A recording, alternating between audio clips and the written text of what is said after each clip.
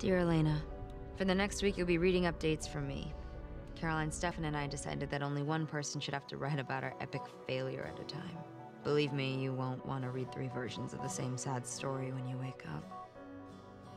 The search for Damon and Enzo goes on and on, and we're no closer to knowing where they are, or who or what took them. Promised each other we'll find ways to steal small moments of normal every day. That's how we'll all stay sane. But it's just you and me talking right now, and I need to tell you. It's hard.